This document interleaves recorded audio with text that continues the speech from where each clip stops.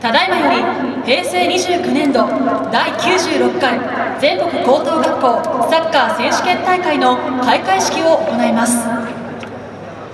選手入場。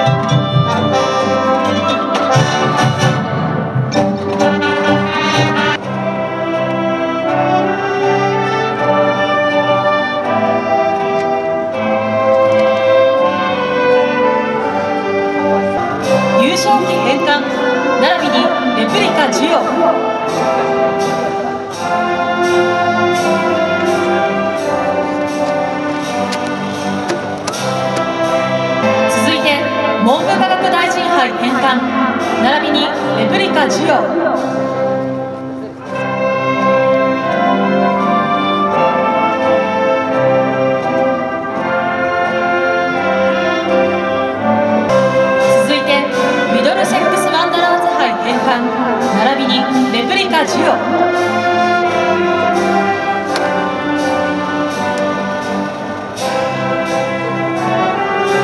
続いてチャーリー・マイヤー杯返還並びにレプリカ授与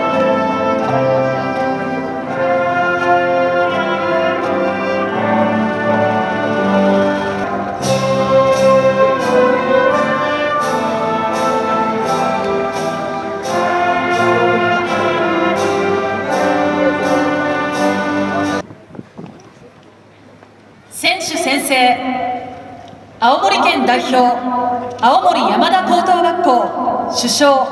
長内慎一郎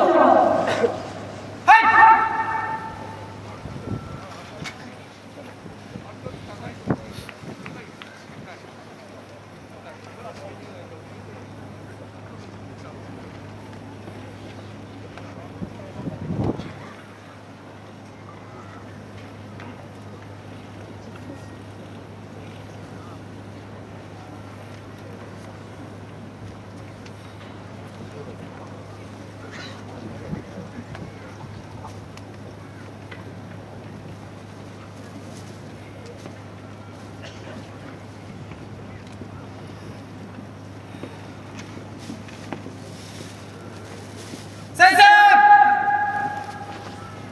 もともと地上には道がない歩く人が多くなればそれが道になるのだ日本サッカー界の世界の道のりはフランス日韓ドイツ南アフリカブラジルへと続きそして今年ロシアへの新たな道が切り開かれました決して平坦ではなかった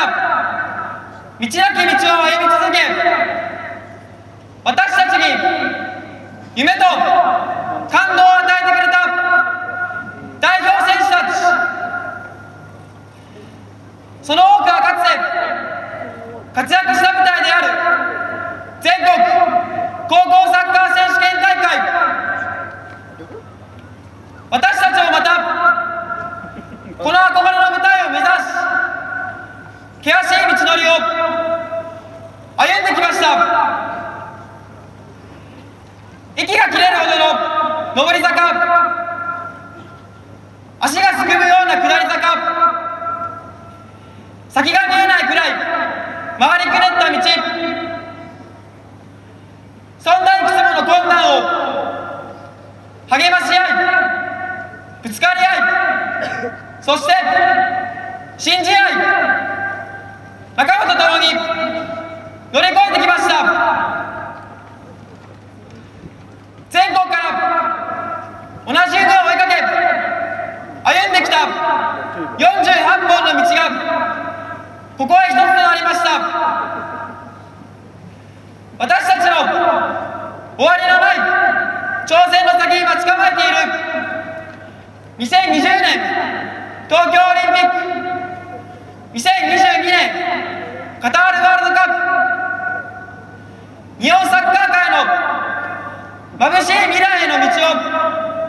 次に担うのは今ここにいる私たちです。そこへ続くべき